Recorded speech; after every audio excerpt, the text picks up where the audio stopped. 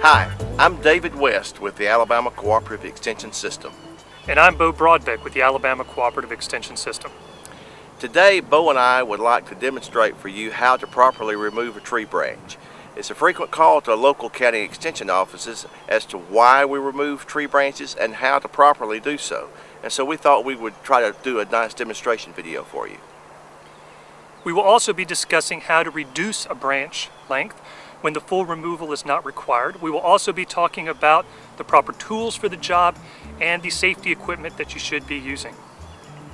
Okay, let's get to work. One reason we may want to remove a branch from a tree is because it's competing with our central leader. And so on this tree here, we see that we have this branch which is coming up and possibly competing with the central leader on this maple tree. So the first thing we'd like to do is identify where our branch collar is if we decide that we want to remove this branch. And so if we look right here, we can see our branch collar on this tree. And so I'll mark it with this Sharpie. And so that's a swollen area there at the base of the branch, and that is where our wound caused by the cut will heal more quickly. Uh, if you're in doubt about that on some trees, you can always just rub your hand down until you feel at the base of that branch where it starts to get wider and that will be a good gauge for you in terms of where you make your cut. And we're going to be demonstrating our three cut method and so our first cut will be up right here a third to halfway through the branch and then we will come up here and make a cut and we'll go probably all the way through the branch here but this will give us some hinge wood between these two cuts which will let this limb lay down easier and it will keep us from ripping bark off down the tree. If we came right here and made one cut right here, there's a chance that the weight of this limb falling would then rip the bark down the side of our tree. And so we're trying to avoid that and make, a, make the uh, smallest wound and the most likely area for the tree to recover more quickly. Okay, I've put on my gloves and my safety glasses. Uh, it's very important to have your safety glasses on around trees when you're pruning because you'll end up bumping into one of these limbs and uh, maybe injuring an eye. So it's a good thing to put those safety glasses and gloves on. Our fir first cut is right here. Have a good sharp pruning saw. So we're going to go about halfway through right there. Now our next cut, right here.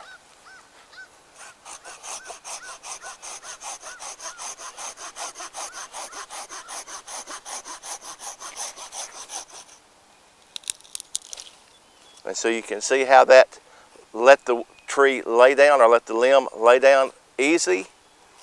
Kept some pressure off of that. We can finish that cut now.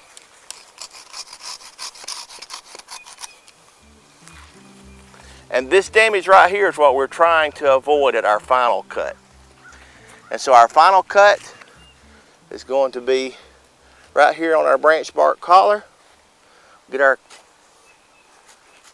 Get our saw lined up good.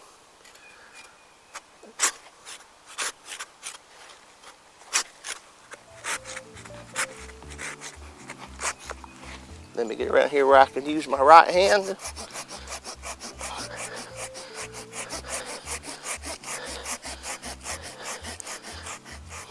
We want to ease off on the pressure a little bit as we get closer.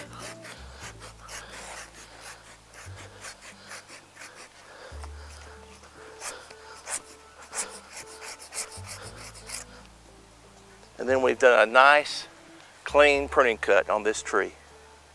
David West has done an excellent cut here. In the next year or two, you will begin to see this tree seal this wound. It'll be evidenced by a donut-shaped wound that'll slowly begin to seal over this cut. If you did a poor cut by removing the branch collar, you will notice that the tree will seal from either side, leaving openings at both the top and the bottom of the tree which will allow for more decay and for a longer sealing process for this tree and possibilities for diseases. Some tree species will not have a branch collar present. And in that case, to identify where to make your cut, you're going to use the bark ridge, which is evident in this maple tree right here. The bark ridge is where the bark from the branch and the bark from the tree meet and form a raised ridge. You draw a line following the line of the trunk straight down the tree and then draw 45 from that to approximate where you should make your branch uh, removal cut. And you can see this in my drawing that you have a straight line following the angle of the trunk and then 45 degrees from that we estimate where our branch collar would be for species where we don't see a branch collar present. Another good reason to remove a branch and to prune a tree is when you have crossing branches. Right here we have three branches that are very close together and as this tree continues to grow, this branch will eventually begin to rub on this outer branch.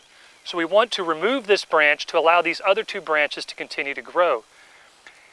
A hand pruner is a very good job for any pruning that is done on branches the size of your pinky and smaller. Anything larger, you want to start using loppers at about one inch and hand pruners like we used in the previous cut on branches two inches and larger. So I'll go ahead and make the cut.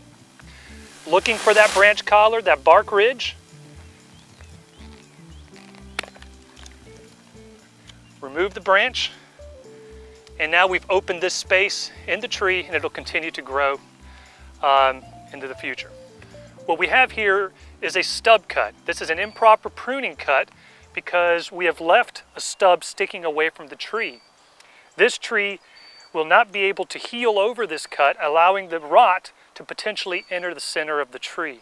So what we want to do is come back and remove this stub back to that branch collar that we've previously discussed.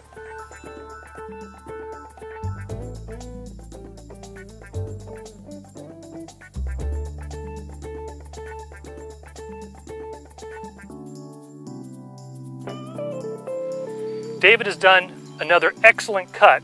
We've cut the branch back to the branch collar, and in the next year or two, this tree will begin to do the donut-shaped wound wood, which in the next two years will no longer even be visible. Another reason to make a pruning cut is to remove a common parasite in the southeast, mistletoe. Mistletoe is a parasite of trees that robs sugars from a branch, which will slow growth and eventually kill that branch. However, it is not good enough to just remove the mistletoe or even prune the branch at the point of mistletoe.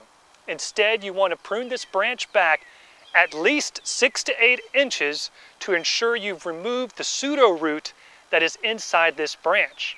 However, in the case of this tree, we do not want to make the cut six to eight inches at this spot because we would be doing a heading cut or a stub cut.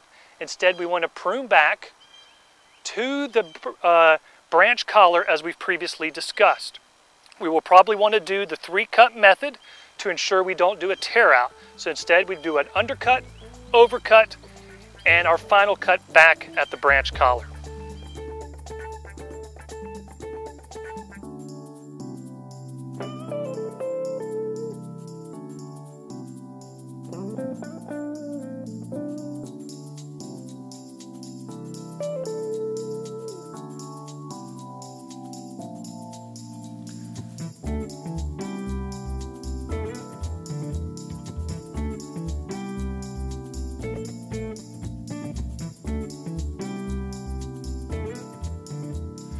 Another type of pruning cut is a reduction cut. This is a cut where we reduce the length of branch back to a smaller lateral branch. The reason we do this cut is to not only remove branches that are interfering with roofs, patios, or in this case, a sidewalk, but we always prune back to a lateral that is at least one third to half the diameter of the branch we are removing. The reason for this is this branch needs to be large enough to assume dominance for this branch and to prevent a flush of growth. In this case, I've already pre-cut this branch, and as you can see, the final result of a reduction cut. We have a pruning cut with this smaller branch that will now continue to grow in an upward direction, hopefully over this sidewalk. In future times, if this becomes a problem, we can always prune back to another lateral branch or even further back. Always remembering that we prune back to a lateral branch at least a third to half the diameter of the original branch. We've made a variety of pruning cuts today and we use several different pieces of equipment. Uh, we want to make sure that we point out to you uh, that for smaller cuts you can use these nice bypass pruners and we want to make sure that they're bypass pruners, a handheld pruner.